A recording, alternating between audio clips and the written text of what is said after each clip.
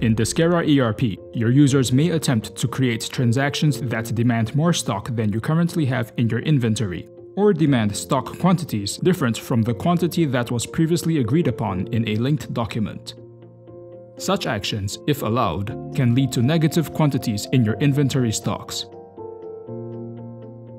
This video shows how to configure the system's tolerance and response to such actions. You need to be logged in with an administrator account. On the menu to the left, expand System, Preferences, and click System Controls.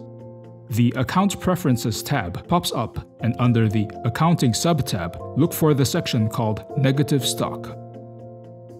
Delivery orders, sales orders, cash or credit sales, and purchase returns are the types of transactions or modules that could cause negative stocks. If a user tries to key in a quantity greater than your current inventory stock, for example, in a sales order, he keys in 12 units of your product when there's only 10 left in stock, which will leave your inventory with negative 2 stock, then the system will react in one of three ways based on what you select here. The system could ignore the fact that negative stocks will occur and thus let the user save the record as per normal, or the system could block the user from creating the record by telling him that it's not allowed. Or the system could warn the user that negative stocks would occur and let the user ultimately decide whether or not to proceed with saving the record. If you want to prevent negative stocks from occurring in your inventory from here on out, then untick the Activate Negative Stock for Location Warehouse checkbox. As a result, all the block options will be selected for all these transaction types, and all the Ignore and Warn options will be unselectable. Note that products that are already negative in quantity will remain so, but any transaction that would lower the stock quantity further into the negative will be blocked. Otherwise, tick the checkbox to allow negative stocks, and as a result, all the Ignore and Warn options are available for selection, and all the block options will be unselectable. One thing to note is that if you successfully create a sales order, sales invoice, or cash or credit order, then your total inventory quantity does not change because these transactions don't correspond to inventory leaving your warehouse.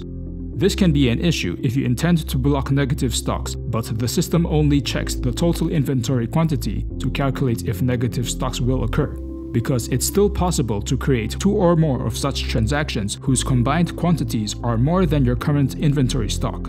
And if they progress into transactions that correspond to inventory stock leaving your warehouse, such as delivery orders, then one of them will be blocked, and until you procure more inventory, you won't be able to deliver its product quantities. This is why, for sales orders, there's an additional section called Formula for Negative Stock Calculations, where you can choose this option to make negative stock be based on the total inventory quantity or this option to make negative stock be based on leftover inventory quantities that have not yet been used in any sales order.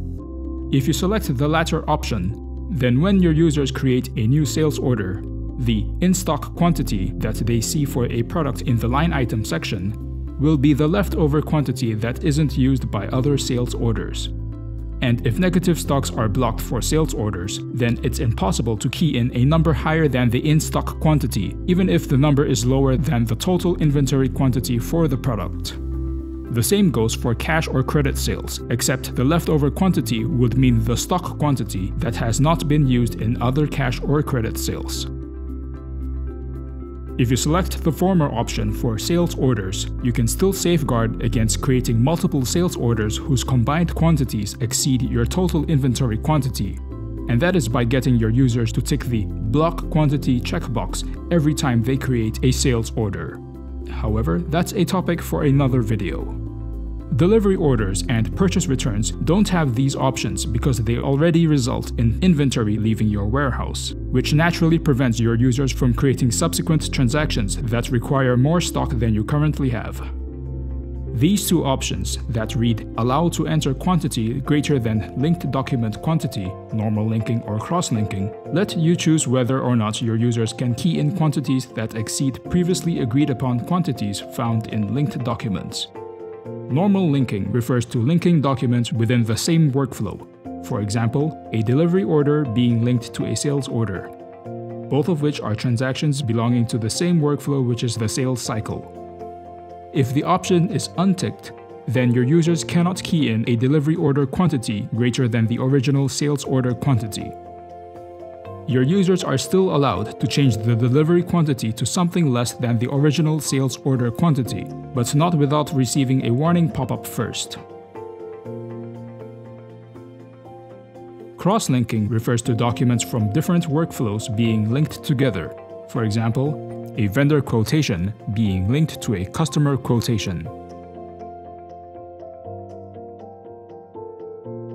If the option is unticked, then your users cannot quote the customer a quantity greater than the original quantity specified in the linked vendor quotation.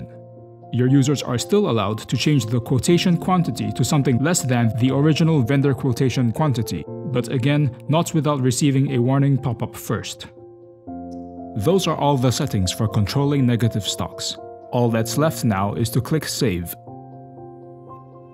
That's all and thanks for watching.